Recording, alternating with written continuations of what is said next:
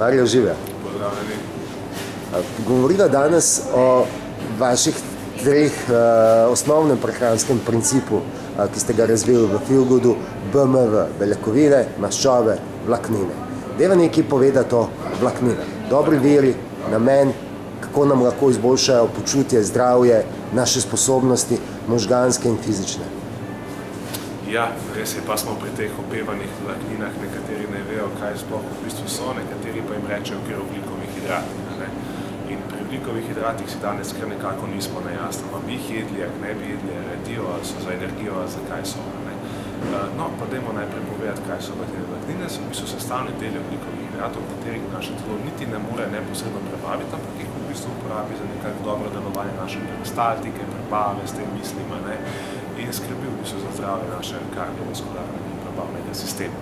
Torej so v bistvu zelo koristne v naši prehrani, ampak če govorimo o najboljših virih oglikovih hidratov oziroma vlaknin, potem dajmo, dajmo kot prvo, prvo, prvo pravilo, prvo resnico povedati, da žita kot taka niso najboljši viri, niso najboljši viri vlaknin, niso najboljši viri oglikovih hidratov. Kaj pa so potem najboljši viri oglikovih hidratov? Ja, ta skupina, ki tukaj nekako vas pozdravlja za mojim hrbtom in dajmo, jim, dajmo, dajmo jih pozdraviti nazaj. To je definitivno zelenjava. Ne? Zelenjava je najboljši vir oglikovih hidratov, najboljši vir vlaknin in bi morala predstavljati bistveno večji del naše vsakodnevne prehrane. Kot sem omenil, Terence je rekel, da feel good načelo BMV pomeni, da vsak obrok vsebuje beljakovine, maščobe in vlaknine. O beljakovinah smo govorili, maščobe smo predstavili, zdaj govorimo o vlakninah, ki, so, ki morajo biti sestavljene del vsakega obroka, smo rekli. In to pomeni, da mora biti zelenjava sestavljena del vsakega obroka. Ne? Različne vire zelenjave obstajajo, vsak lahko najde nekega svojega favorita in toliko receptov, koliko jih lahko ponudimo tako na naših straneh kot, kot drugod, pa ni vrag, da ne bomo našli nekaj, kar bo primerno za nas po okusu. Če govorimo o najboljših virih za zelenjave, ne, verjetno tisto, kar je zeleno, bo verjetno najbolj, najbolj, najbolj zdravo, če uporabim ta, ta izpiten izraz. Govorimo o brokoliju, govorimo o blitvi, govorimo o, o, o cvetači, ne. govorimo o tisti, tisti zelenjavi, ki je morda sezonska, ki je morda čim bolj lokalna. Ne, ne rabimo kupovati zelenjavo iz drugega konca sveta, ker ne bi bila ta ne vem kakšna in oh in sploh, ampak uporabimo zelenjavo, ki je mogoče bliže nam, ki je trenutno sezonska. Ne. Ta bo verjetno tudi malo bolj ugodna in po vsej verjetnosti tudi bolj bogata s hranili kot tista, ki je pripotovala in videla v tem procesu več sveta, kot sem ga videl jaz do, do, do mojega 27. leta. Različne oblike zelenjave so uporabljamo lahko tako svežo v, svežo v solatah, ne? Okay. Kot, kot pa jo tako toplotno obdelamo. Bistveno lažje bo telesu presnoviti in uporabiti če, zelenjavo, če jo toplotno obdelamo prej, recimo kakšen brokoli, kakšen bokrov, kakšen svetače, ta, take stvari je lažje, če se jih toplotno prej malo na sopari obdela. Ne, določena zelenjava tudi, določena zelenjava tudi izboljša svojo biološko vrednost, to se pravi,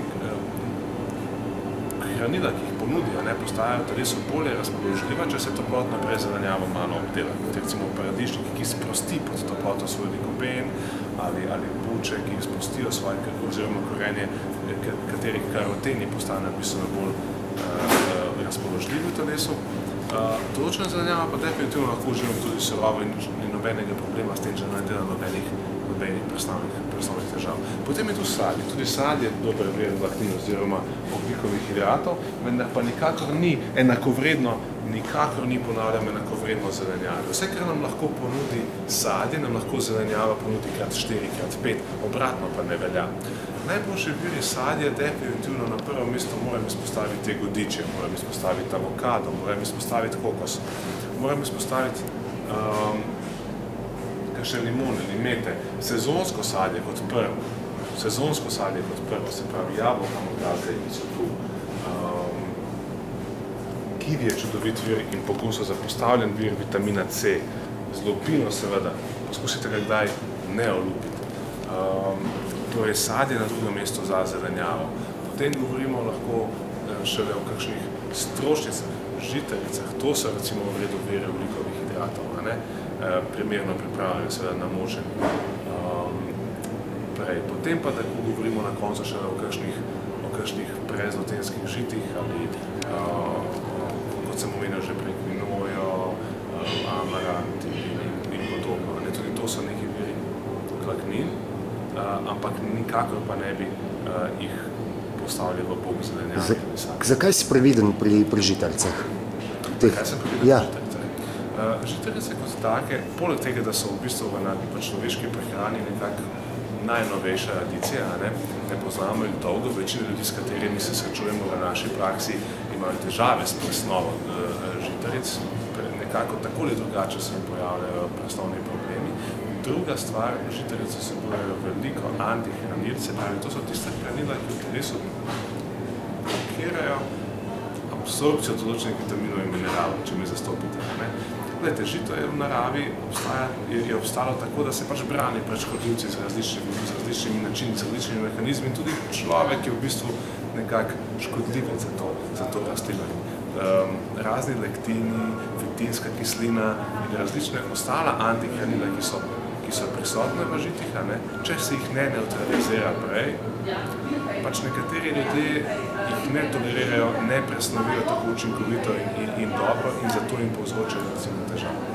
Fitinska kislina sama po sebi povzroča proteženo absorpcijo železa, proteženo absorpcijo mangana, cinka, bakra in nekaterih drugih mineralov in iz tega razloga uh, nekako ne more biti ne more biti uh, primerljiva po, po, po koristnosti, kot samo naprej zelenjaki oziroma sadju, ki so tu nekdaj zato, da bi nas nahranjali.